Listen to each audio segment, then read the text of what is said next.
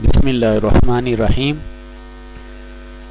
वसलात वसलाम अला सैदिलम्बिया वलमरसलिन अम्माबाद ग्रेड एट के स्टूडेंट्स, आप सबको डॉक्टर सर जुल्फ़ार अली कुरैशी का सलाम हो। आज आपकी इस्लामियात की किताब जिसका टाइटल आपको सामने नज़र आ रहा है। इसमें हमने आयात मुबारक कुछ पढ़ी थी और इसके अलावा सूरह आल इमरान की आयत नंबर 31 मॉडल वर्क में शामिल की गई। मॉडल वर्क भी आपके सामने मौजूद है। आज इसको रीड करते हैं और एक्सप्लेन करते हैं। फिर आपने जो काम आपको शीट में दिया गया है, वो आपने घर पर कॉपी में करना है। सूरह आल इमरान, आयत नंबर 31 कुल इन कुन तुम तुहिब्बून अल्लाह फत्ताबिऊनी युहिब्बुकुमुल्लाह लकुम गफूरुर रहीम। बहुत खूबसूरत आयत मुबारक है। इसका तर्जुमा, ए महबूब, आप फरमा दीजिए कि अगर तुम लोग अल्लाह को दोस्त रखते हो, महबूब रखते हो, अगर तुम्हारा ये दावा है कि तुम अल्लाह से मोहब्बत रखते हो तो मेरे फर्मा बरदार हो जाओ, मेरे अतात गुजार हो जाओ। अल्लाह भी तुम्हें अपना महबूब बना लेगा, अपना दोस्त बना लेगा और तुम्हारे गुनाह बख्श देगा और अल्लाह बहुत बख्शने वाला मेहरबान है। मतलब क्या है इसका तर्जुमा, क्या तर्जुमे का मतलब ये है कि, ए महबूब सल्लल्लाहु अलैहि वसल्लम, आप इन लोगों से ये बात कहो। आप फरमाओ ये बात इनसे कि, लोगों, अगर तुम ये दावा करते हो कि तुम्हें अल्लाह से मोहब्बत है तो फिर तुम्हारी मोहब्बत के लिए दावा चाहिए, इस दावे पर दलील चाहिए। दावा अगर तुम्हारा है कि अल्लाह से मोहब्बत करते हो तो फिर इस दावे पर दलील। दलील क्या है? फताबियोनी कि तुम मेरी इत्तिबा करो, ताबेदारी करो। जब तुम मेरी ताबेदारी करोगे तो ये हबीब को मुल्ला अल्लाह तुम्हें अपना महबूब बना लेगा, प्यारा बना लेगा, लाडला बना लेगा। तो ये बताया गया, अगर तुम अल्लाह के प्यारे बन गए, महबूब बन गए, दोस्त बन गए, लाडले बन गए तो फिर अल्लाह ताला तुम्हारे सारे गुनाहों को बख्श देगा। बख्शने वाला मेहरबान है वो परवरदिगार। तफसीर क्या है? इस आयत करीमा में लोगों को खुदा का रास्ता बताया गया है।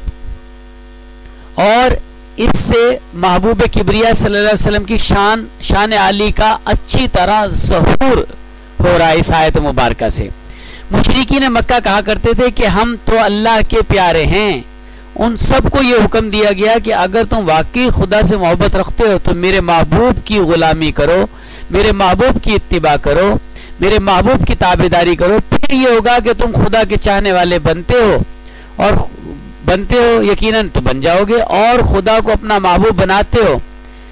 मगर फिर खुदा तुम्हारा चाहने वाला होगा और तुम उसके महबूब और तुम्हारे गुना बख्श भी दिए जाएँगे। यानी अगर तुम लोग मेरे महबूब के ताबेदार हो जाओ तो फिर खुदा तुम्हारा है।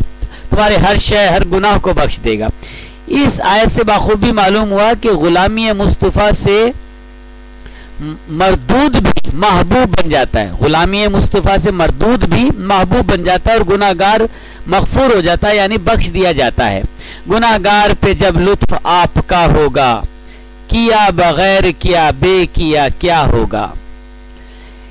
देखिए, इत्तिबा कहते हैं पीछे पीछे चलने को। तो आयत में बताया जा रहा है कि अगर मोहब्बत इलाही चाहते हो तो महबूब के पीछे पीछे चले आओ।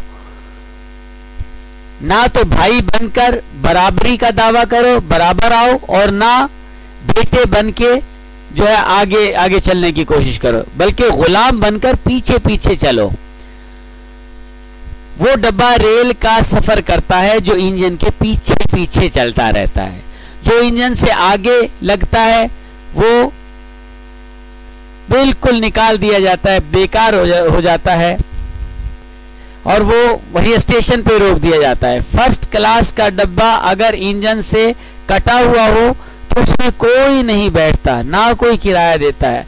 अगर थर्ड क्लास का डब्बा इंजन से जुड़ जाए और उसके पीछे पीछे चले तो उसमें हर कोई बैठने की कोशिश करता है। मालूम हुआ कि डब्बे की अपनी कोई कीमत नहीं, बल्कि इंजन के पीछे लग जाने की कदरों कीमत है। नीज इंजन ये नहीं देखता कि मेरे पीछे डब्बा कैसा है। वो तो ये देखता है कि मुझसे कड़ी मिली है या नहीं? मुझसे जुड़ा हुआ है या नहीं? मेरे पीछे लगा हुआ है या नहीं? मेरे पीछे चल रहा है या नहीं? मेरे ताबेदार है या नहीं? डब्बा थर्ड हो या सेकंड या फ़र्स्ट क्लास सबको एक ही रफ्तार से ले जाता है, बशर्ते के डब्बा लाइन पर हो। ये एक मिसाल दी है मुफ्ती अहमद यार खान नईमी रहमत ने समझाने के लिए कि देखिए, आज अगर हम हजूर सलाम के पीछे पीछे चलते रहे तो कामयाब हो जाएँगे, वरना वहीं खड़े के खड़े रह जाएँगे। इंजन बजुबान हाल कहता है कि, ए डब्बे, तू अगरचे कमज़ोर सही, पर मैं कव्वी हूँ। इसीलिए कुरान करीम ने फरमाया, फत ताबी खा कैसे ही हो, मेरे पीछे पीछे चले आओ। हम तुमको नहीं देखते, हम अपने को अपनी नस्बत को देखते हैं। इसीलिए रिवायतों में और हर जगह ये फरमाया गया कि महबूब अलैहिस्सलाम की ताबेदारी तुम्हें अल्लाह का महबूब बना देगी। इतात तीन तरह की होती है। इतात जर की इतात लालच की इतात मोहब्बत की। यानी इतात जर इतात लालच और इतात मोहब्बत। यहाँ मकसूद है मोहब्बत की इतात क्योंकि डर या लालच की इतात तो मुनाफिकीन भी करते थे। इसीलिए इस आयत को महबूब से शुरू फरमाया गया। मोहब्बत से शुरू फरमाया गया। ख्याल रहे कि मोहब्बत तीन किस्म की होती है। छोटे से मोहब्बत यानी मामता, दूसरी बराबर वाले से मोहब्बत, तीसरी बड़े से मोहब्बत जो अजमत के साथ होती है। इताबीऊ से मालूम हुआ कि मोहब्बत में अजमत होनी चाहिए। फिर दो किस्म की है मोहब्बत, दीनी और दुनियावी। युहबिब कुमुल्ला से मालूम हुआ कि अजमत दीनी चाहिए, अजमत दुनियावी नहीं। यानी रिसालत की बिना पर मोहब्बत और अजमत चाहिए ना के बड़ा भाई समझकर।